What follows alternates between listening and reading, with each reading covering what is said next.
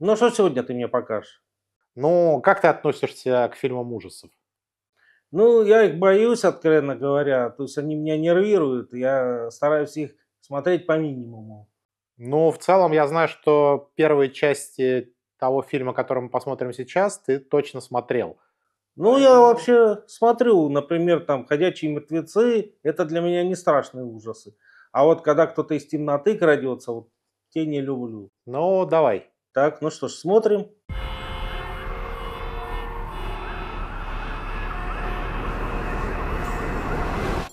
Сюда нельзя, с кошками. Она служебная.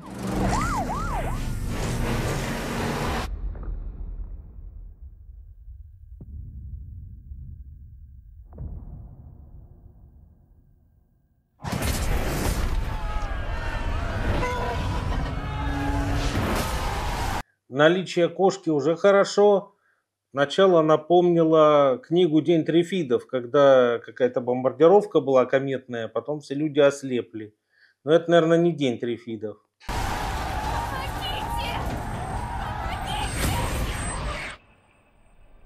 Ну, пока не узнаешь. Ну, похоже на «Войну миров», конечно. Смесь «Войны миров» и «День трифидов». Вот. А что это за... Это может быть это, «Тихое место» что-то вот. Совершенно верно. Выходит третья часть э, фильма «Тихое место». Третья часть у нас будет приквелом, потому что называется она «Тихое место. День первый». А, ну, собственно, да, потому я, что я и стал думать, что это прям вторжение какое-то, а там прям камерное уже было, а тут как раз масштаб очень интересный. Всем в убежище.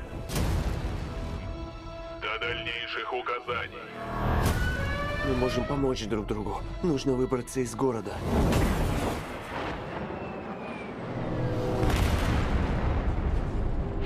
И вот опять-таки хорошо, что, по крайней мере, вступление, судя по всему, днем показано, потому что в тихом месте там либо лес, либо дом, либо сумерки, этих чудиков не видно. Тут хотя бы видно, что это такое, ну, тоже с мельком, ну, хотя бы видно. Показали уже в, Во второй. первой и во второй более активно. Ну, а то, что было все темно и так далее, в принципе, все было логично, потому что Хоррор. цивилизация разрушена, и Ну да, там ч- чему ничего не работает. Днем опасно, вечером спать надо. Ну, короче, понятно.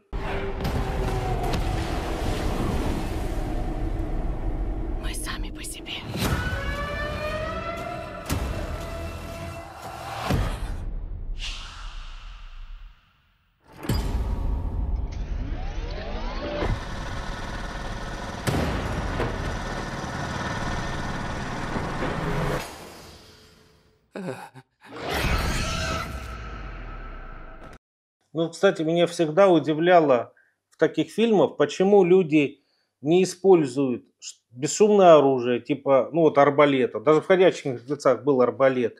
Почему не используют малошумные средства передвижения? Например, самокат. Ну, не электросамокат, а обычный, или велосипед. Он почти бесшумно едет. Вот. Очень много достаточно вариантов бесшумно себя вести и как-то сопротивляться даже. Вот этого всего обычно в этих фильмах нет. Ну, как бы допущение такое.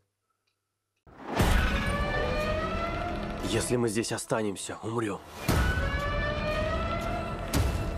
У меня есть план. Это конец света. Никаких людей. Больше никакого Нью-Йорка. Нет ничего.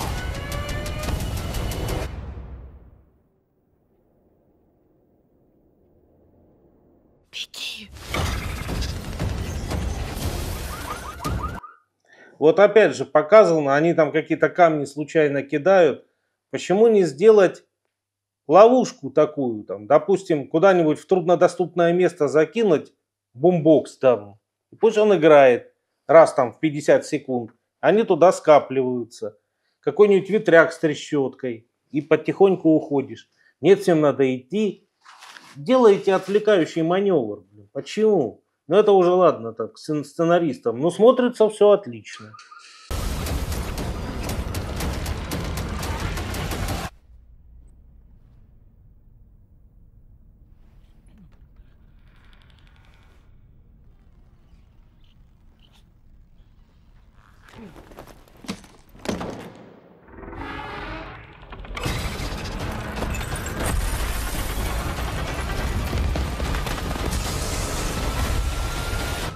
Тихое место.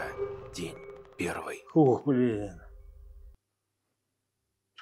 Вот это подарочек.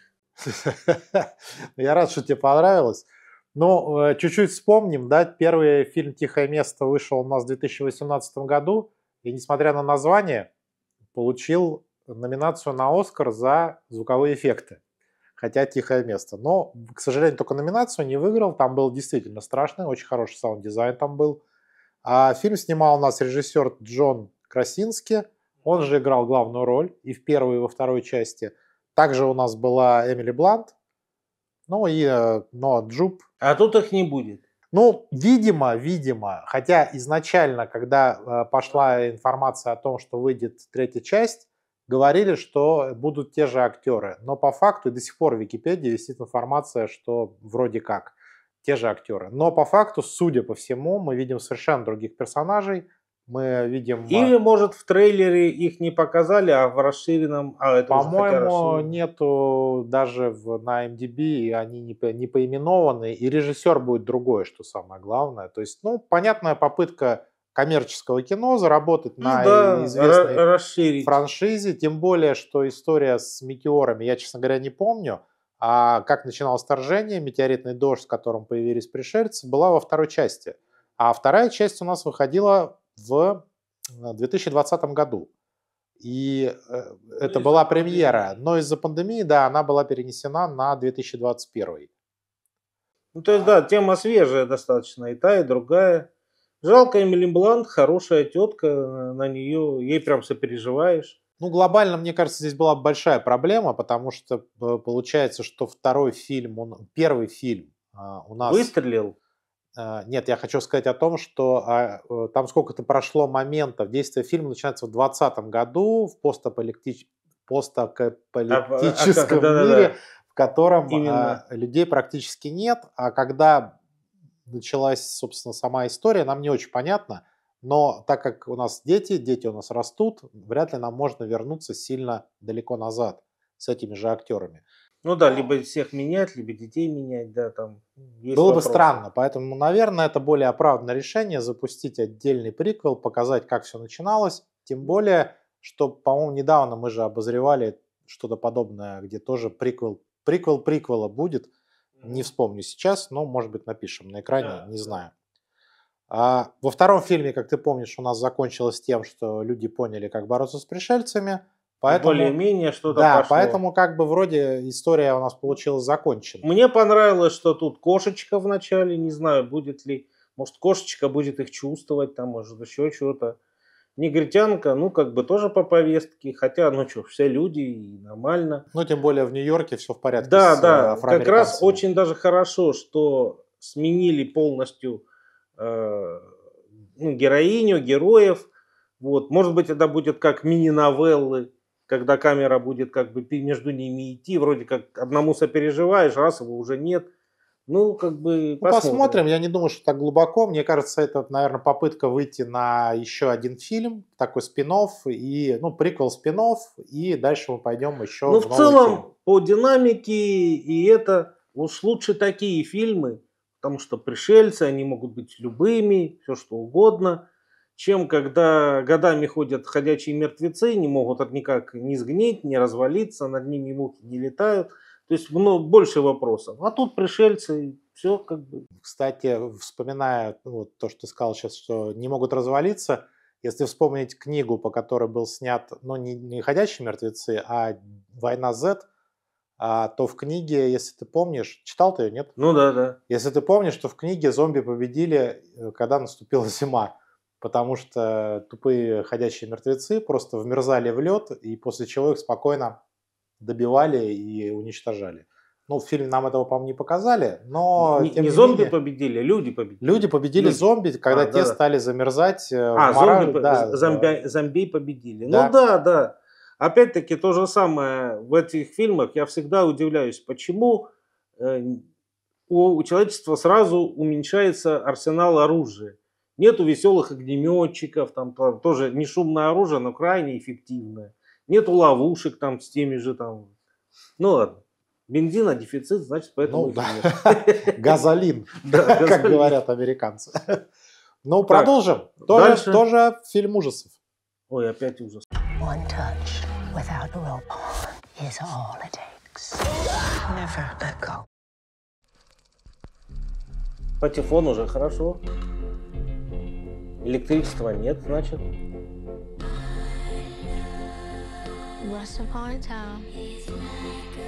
На Юлю Снегирь похоже. and her two sons. And nothing could hurt them as long as they stayed connected to their home. А, ну так, типаж. просто.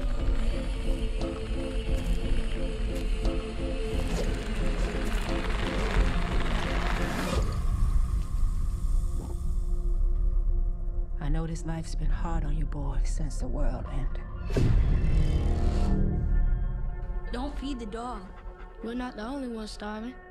But the evil out there Is clever. One touch without willpower is all it takes.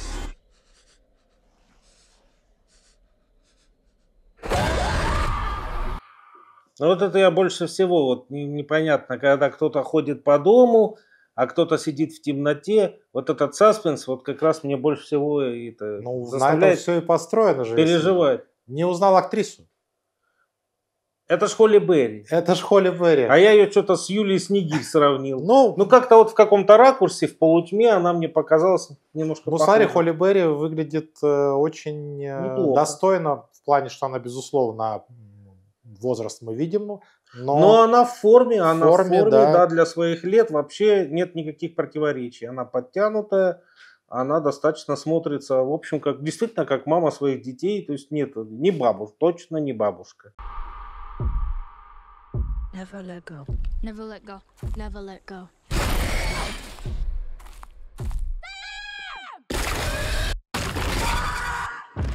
After your rope broke, did you notice anything? Why are you asking all these questions? Mama never lied to us. Что-то связанное с э, веревкой, она должна быть типа как, ну, давай я чуть-чуть добавлю. чтобы Фильм, не заблудиться. фильм называется э, «Никогда не отпускай». В русском переводе почему-то называется, за- забыл уже как, неважно как, совершенно не так. Но, возможно, еще это все поменяется, когда это в прокат пойдет, если пойдет у нас. А по-английски, соответственно, never let go, то есть, ну, действительно, не отпускай. А семья преследует ее много лет злой дух, никаких пришельцев, судя по всему, тут нет. Чистый фильм ужасов. Они живут явно где-то в глухомане, пытаясь там спрятаться. Ну и кто-то их, судя по всему, атаковывает периодически. Для того, чтобы, для того, чтобы, да, детей и взрослых, видимо, тоже никто не утащил, их привязывают веревками. Видимо, это максимально работающий инструмент для злых духов. Ну, Типа связь с домом. ну да. Так, It wants you to doubt me. Maybe it's safe to leave. That's what it wants you to think.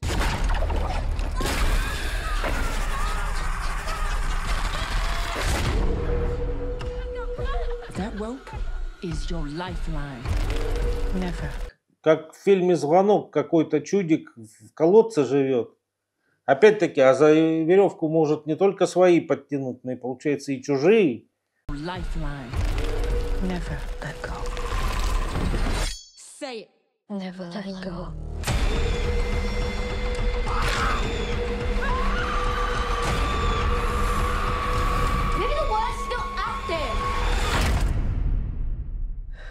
Now.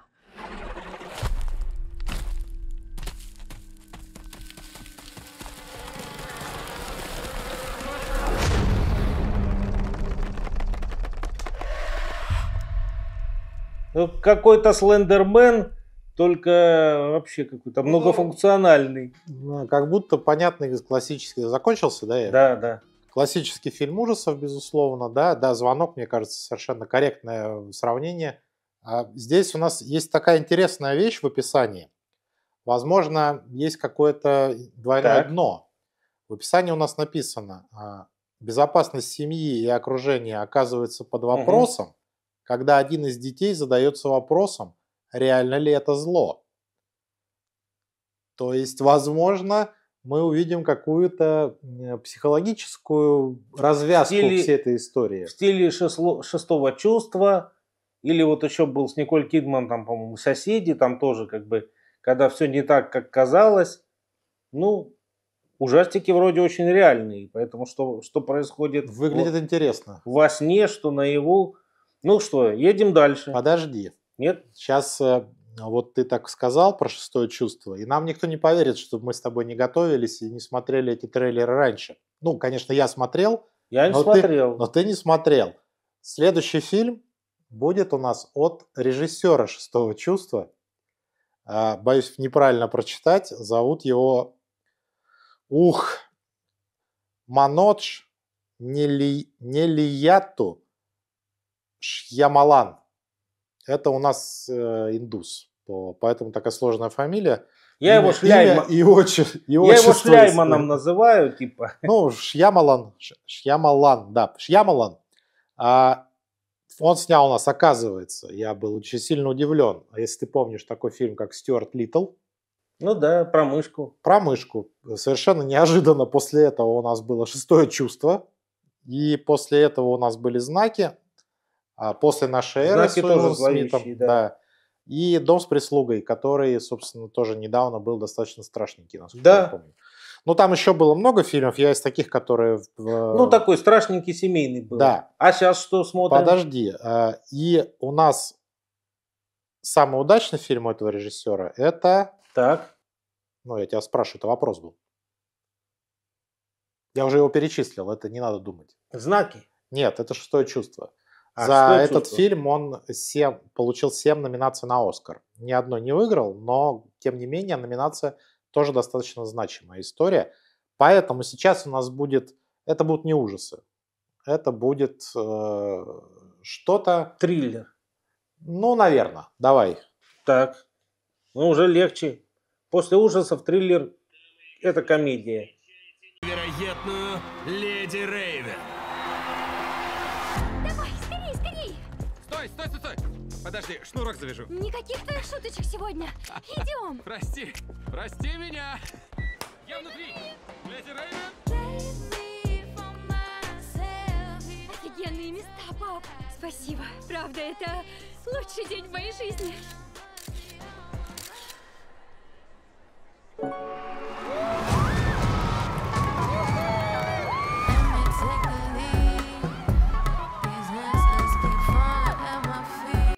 Показалось, это Том Круз, но это не Нет, Том. не Том Круз, точно там.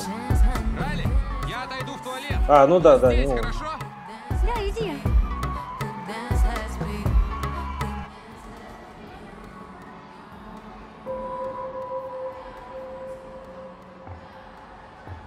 Возьмите. Здрасте. Пс. Я Купер. Вот тревожно в связи с, в связи с недавними событиями концертный зал, и явно что-то должно произойти.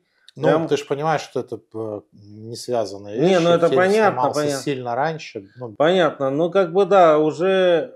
Ну, Не, ну алгоритмы для событий все понятны. Где, Почему что... снаружи полиция, а тут камеры повсюду? ты будешь удивлен. Я не могу сказать. Что-то случилось? Ток чур никому. Обещаю. А мясник я слышал? Поехавшем типе, который людей на куски кромсает. Короче, федералы прознали, что он будет здесь, сегодня, и поймают его в ловушку. Этот концерт — большая ловушка. Они следят за всеми выходами, проверяют каждого посетителя. И ему отсюда не выйти.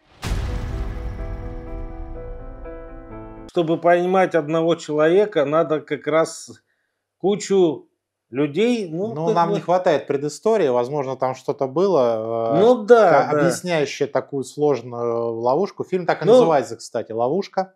Может быть, это идея, как в смертельной битве, когда всех собирают, или как в 10 негритят, они все и так грешники, или это самая там какая-то такая секта фанатов нездоровая. случае чего их не жалко. Типа, на эту певицу плохие ходят. Многовато там людей. Да, для ну такой да, версии. как бы для смертельной битвы, да, все-таки было меньше. Ну, вот им не повезло.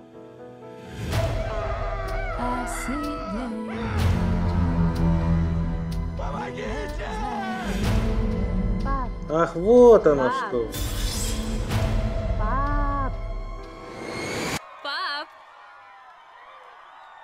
Прости, повтори еще раз.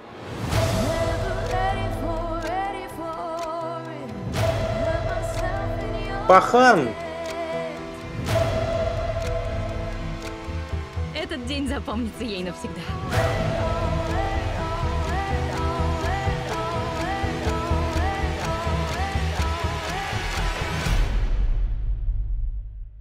Крутяк, скажи.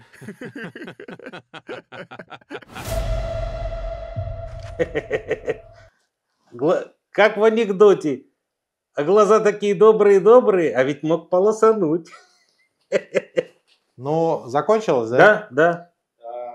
Ну, фильм, э, в общем-то, хорошая идея такой. Крузоподобный чувак, весь из себя семьянин, в курточке, как любит Том Круз ходить. Вот прям типаж там. Вот он еще похож на этого, э, который был молодым мужем Эстон Катчер. Вот, Дэми Мур. Вот такой, что-то между Крузом и Катчером, такой вот, вот он такой позитивный. И вот это как вот он...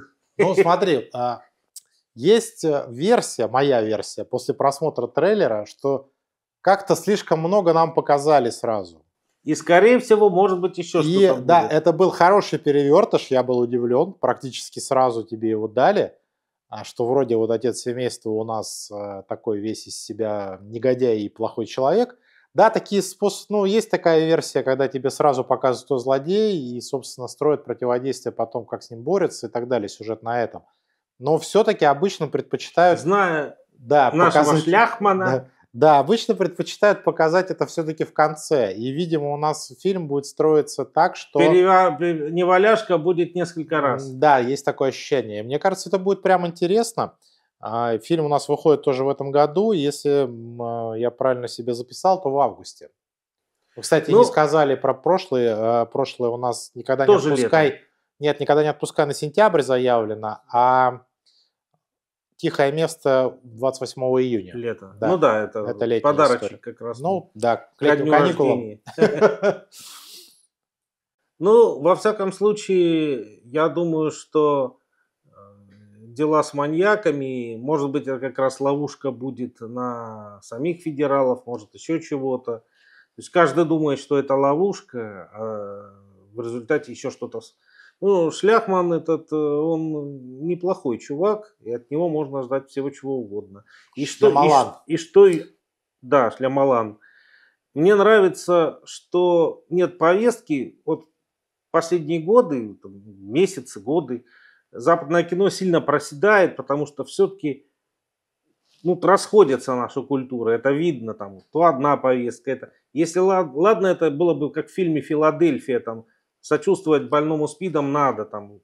Но когда это все приобретает такие гротескные формы, которые начинают уже перевешивать и становятся мейнстримом, немножко этому уже не сопереживаешь. Вот тут классический боевик, как он должен быть. Триллер, боевик. Ну, я думаю, что, Надеюсь, наверное, там- все-таки к триллеру надо отнести. Ну да, да. Судя по... Вряд ли там будет какая-то мега-стрельба, там И, какие-то... и надеюсь, там все-таки не будет никакой повесточки, кроме как стандартного маньяка. Блин. Ну, посмотрим. Посмотрим. Ну, да? ну, маньяк явно нестандартный.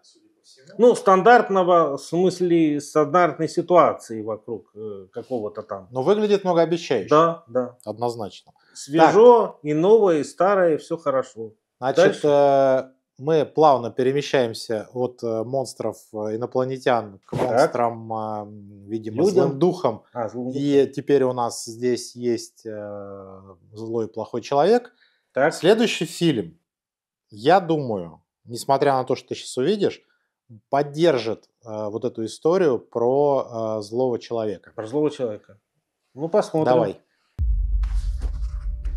О, Камбербэтч. Прошло двое суток с тех пор, как Эдгара Андерсона видели около 8 часов утра по дороге в школу.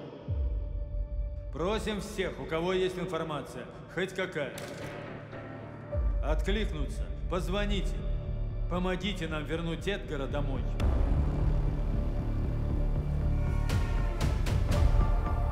Отпустить его одного? Не сожалеете о своем решении? Ты смел! Ты разный! Расскажи маме, что придумал. Его зовут Эрик. Розыск пропавших, детектив Ледруа. Отмечайте все двери, в которые постучали, зоны, которые обыскали. Мистер Андерсон, есть комментарии? Пресса сходит с ума. Подозреваемый есть? Мы ничего не исключаем. Говорят, был бы он жив, вы бы его уже нашли. Доверьтесь мне. Ну тут это либо экранизация какой-то аниме, либо это вообще какой-то байопик по реальным событиям. Ну нет и нет. Это на самом деле я сказал фильм, я оговорился, неправильно сказал. Это сериал, сериал британский, шестисерийный, как любят, собственно, британцы. Он у нас выходит на Netflix. Более того, он уже вышел буквально 30 числа. Ну, ждем перевод, Lost фильм. Lost фильм ждем. И далее, и далее по списку. Нет, я так понимаю, это придуманная история. Придуманная. Да, и... 70-е годы там, да? Ну, действие у нас происходит в Нью-Йорке в 80-е, несмотря на то, что это британский сериал, почему-то выбран Нью-Йорк.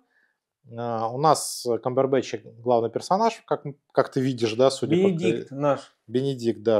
Вижу Камбербэтча, ставлю лайк, да? Как да, да, да, да. Я человек простой. Вот. Вот, у нас э, пропадает у него девятилетний сын по дороге в школу, находит только какую-то там куртку, кровь вроде как, там плеер, э, там, ну, ты видишь все, все по трейлеру, плохо, короче, да. да. А Камбербэтч его пытается бороться с его потерей, во-первых, и не верит, что он пропал. А он кто по специальности? Учитель какой-то? А сейчас смотри, это интересно. Смотрим. Зачем тебе рисунки Эдгара? Я работаю над новой куклой. Если включим его в шоу, Эдгар увидит его ага. и поймет, как сильно мы ждем его дома. Ты сходишь с ума. Он художник-постанов. Это монстр, необходимый каждому ребенку, когда тот теряется, и его нужно найти. Это такая Эдгара. аллюзия к корпорации монстров такая небольшая есть. Так. Только наоборот. Интересно, давай. И я ее осуществлю.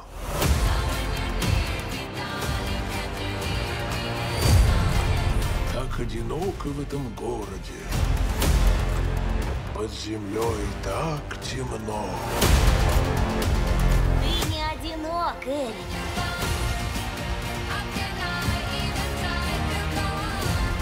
Ребенка нет уже больше недели. Не сдавайся. Эрик поможет мне найти Эдгара. То есть он создал куклу, которую как бы сам будет ей управлять, и одновременно отряд по поиску типа Лизы Алерт. Вот.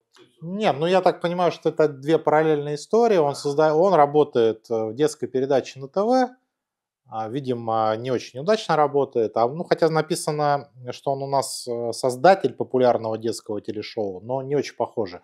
Но с другой стороны, когда он создает новую куклу по рисункам своего сына, который ну, живет под кроватью, зовут его, видимо, Эрик, эту куклу, да, и э, с ее помощью он хочет э, помогать э, искать детей.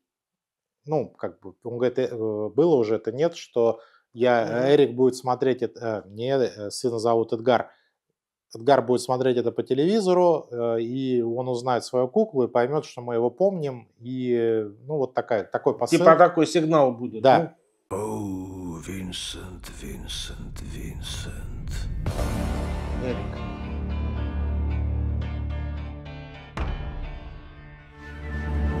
Но думаю, в шести сериях они как раз, э, как раз это достаточно, чтобы раскрыть все ходы. И может быть не одни, не линейный сюжет, а может там будет еще Но, смотри, пара дополнительных. Что заметил? Ну, корпорация монстров. А, почему, почему ты считаешь, я включил это в подборку про психопатов и фильмы ужасов? А, что сам папа психопат, может быть? Не сложилось ли у тебя такого впечатления, когда нам показали папу со стаканом э, виски и рисунком монстра, который держит бутылку? Да, кстати, может быть. Ну, как бы папа и есть этот монстр, который... Ну, сидит. возможно. Это, ну, опять же, теория. Я не знаю, не видел нигде, не читал Ну, глубоко да. про это. Может, у папы раздвоение личности. Воз... Ну, не, просто не раздвоение личности, просто папа прибухивает по-жесткому. Ну, так, и я- ребенка это задрало. Там Да, ребенок, интересно. может, он его бьет, может, еще что-то, потому что монстр, который живет под То есть кроватью... причина может быть и внешняя, и внутренняя, бытовая. Ну, посмотрим, как бы. Это такой социально-бытовой детектив, вот, с элементами психологического триллера. Ну, Получается мне так. кажется, это интересно, и это уже надо, наверное, ждать. Я думаю, Камбербэтча точно переведут. И его поклонникам это точно понравится, но мне кажется, и жанр достаточно выбран удачно. По цветам, ну, это Не, ну, киношная кино прям, картинка. да, киношная. кино, кино просто, ну, просто 6, обычно по часу они, да, британские сериалы. Ну да, там, а- а- 6 часов Камбербэтча никто не будет против. да, там а- а минимум 45 минут от- до часа, да. То есть это будет... Тема, надеюсь, будет раскрыта. Обязательно посмотрю. Вот Так. это, пожалуй, мне прям интересно. Интересно, согласен. Подожди, ты Ой, уже... чуть дальше не сорвалось. Так, значит, финализируем. Будем 5, потому что в прошлый раз мы сделали, по-моему, 8 фильмов. Да, Это да. прям что-то много. Давай сейчас 5. Будем выходить, Пятерочками, да. будем пятерочками. выходить чаще и более емко. В сентябре 2024 года выходит вторая часть фильма, который вышел, первая часть, внимание, в 1988 году. А, Небольшой такой разброс, это, Это прям типа реально... Повелители вселенной, что-нибудь такое? Нет, нет, э, это фильм Тима Бертона 88 А, труп года. и- невесты. Как? Нет, труп Нет, невесты. Нет, это мультфильм, это кино прям будет. А, ну, там со смесью анимация это, но а, Тим Бертон в 88 году Даже сделал помню, что. веселейший, веселейший фильм ужасов, если его можно так назвать, и назывался он у нас Битлджус, только не говори это три раза. Помнишь это кино? Да-да-да, Битлджус. Выходит в 2024 а, в сентябре вторая часть, в котором у нас на радость, наверное, всем. Это прям полноценный сиквел, который происходит через 20 лет после первой части, хотя по факту больше, конечно.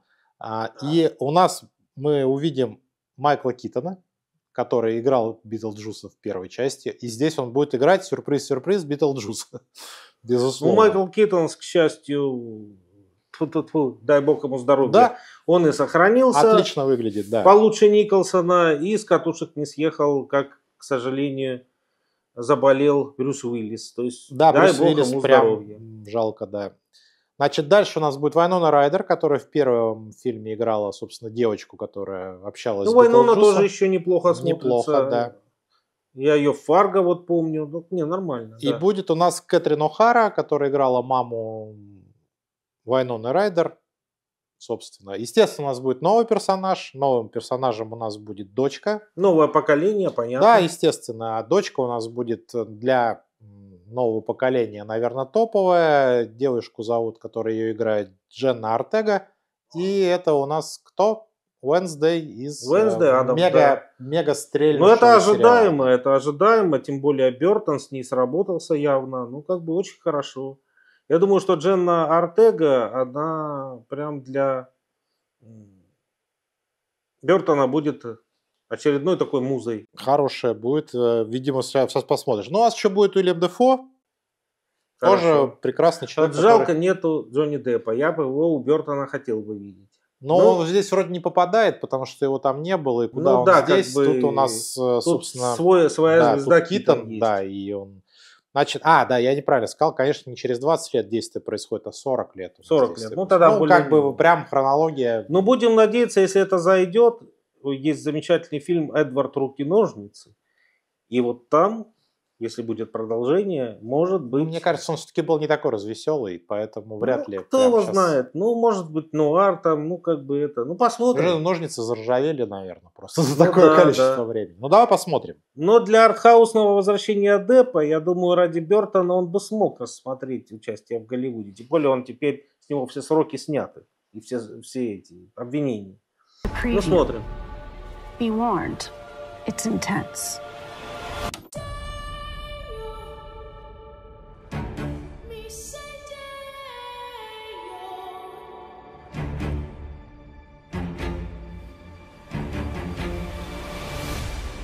Believe Grandpa's dead. Death is hard. Так бабушка, кстати, это, по-моему, та же актриса, что играла маму Кевина в «Один дома». Так, ну, это же и та же самая. По-моему, да, но я имею в виду, что у нас... Ну, то есть знакомые все лица. Да, да. Yeah, sometimes I think life is harder.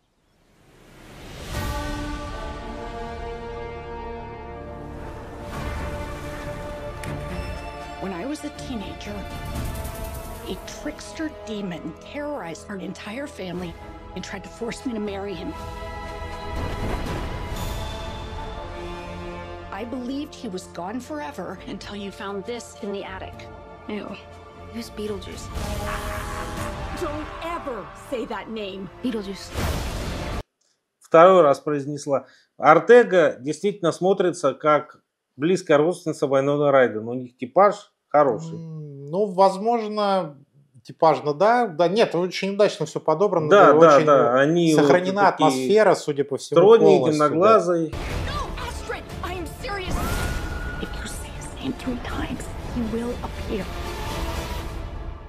Beetlejuice. The juice is loose. I'm gonna make you so happy. Но Китон молодец. The living. The dead. Can they coexist? Mm-hmm. That's what we're here to find out.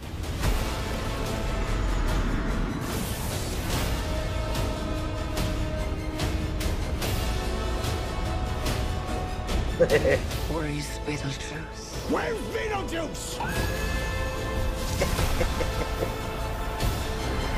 Это спецэффекты, как в маске, когда у него язык высунулся. Beetlejuice. Feel free to express yourselves. Don't be afraid. You're a figment of my imagination. Really? Is this a figment of your imagination?